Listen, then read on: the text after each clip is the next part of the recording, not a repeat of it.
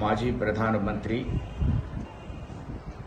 తెలుగు జాతి ముద్దుబిడ్డ శ్రీ పివి నరసింహారావు గారికి నరేంద్ర మోడీ గారి ప్రభుత్వం భారతరత్న ఇచ్చి గౌరవించడం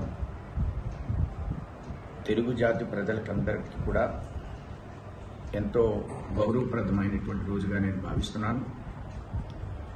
భారతదేశాన్ని ఆర్థిక సంస్కరణల వైపు తీసుకువెళ్ళి దేశాన్ని ఒక ప్రగతి పదంలో మరణించే విధి- విషయంలో ఒక మైలురాయిని ఏర్పాటు చేసినటువంటి వ్యక్తి శ్రీ పివి నరసింహారావు.